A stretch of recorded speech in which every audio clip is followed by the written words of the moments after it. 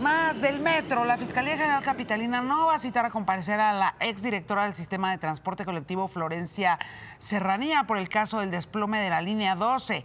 La dependencia consideró que realizar citaciones sin contar con líneas de investigación implica una actuación deficiente de la autoridad ministerial y atenta contra los derechos humanos.